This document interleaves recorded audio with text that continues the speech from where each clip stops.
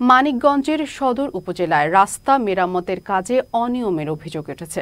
স্থানীয়দের অভিযোগ, মেরামতের কাজে ব্যবহার করা হয়েছে নিম্নমানের নির্মাণ সামগ্রী। কাজ শেষ হতে না হতেই উঠে যাচ্ছে রাস্তার কার্পেটিং। রাস্তার বিভিন্ন জায়গায় সৃষ্টি হয়েছে বড় বড় গর্ত। রাস্তা মেরামতের কাজ শেষ হলেও কমেনি মানুষের ভোগান্তি। তদারকি করে ব্যবস্থা নেয়ার আশ্বাস দিয়েছে এলজিইডি। মানিকগঞ্জ প্রতিনিধি আফ্রিদি আহমেদের পাঠানো তথ্য ও ছবিতে ডেস্ক রিপোর্ট।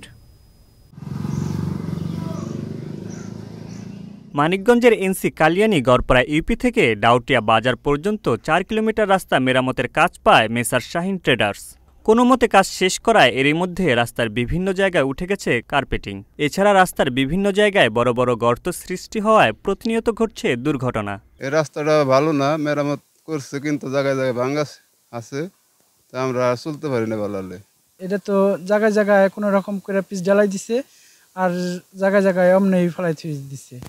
তো আমাদের তো গাড়ি চালান অসুবিধা হচ্ছে। মাটি ফেলাইছে ওখান থেকে যেটা নতুন ঢালাই করছে ওইটাই কাজ করছে।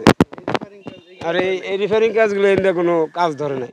এলাকার জনপ্রতিনিধিরা জানান ঠিকাদারি প্রতিষ্ঠানে চরম গাফিলতির কারণে এমন ভোগান্তিতে পড়েছে এলাকার মানুষ। কিন্তু কত কত জায়গায় সারছে আবার কত কত জায়গায় সারে নাই।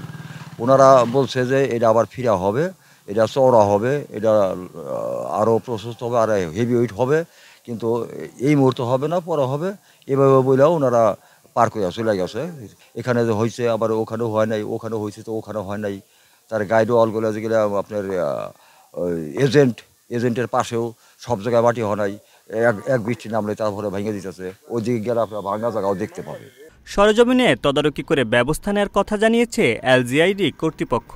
আমরা এগুলো যাচাই করব যাচাই করে যথাযথ ব্যবস্থা নিয়ে ত্রুটিগুলো সংশোধনের ব্যবস্থা নিব। চার কিলোমিটার রাস্তা মেরামতের বাজেট ছিল সাতান্ন লাখ তেহাত্তর হাজার টাকা। কাজ শেষ হয় চলতি বছরের জানুয়ারিতে। তবে ভোগান্তি কমেনি মানুষের। ভোগান্তি লাঘবে দ্রুত কার্যকর ব্যবস্থা নেবে সংশ্লিষ্ট কর্তৃপক্ষ, এমন প্রত্যাশা স্থানীয়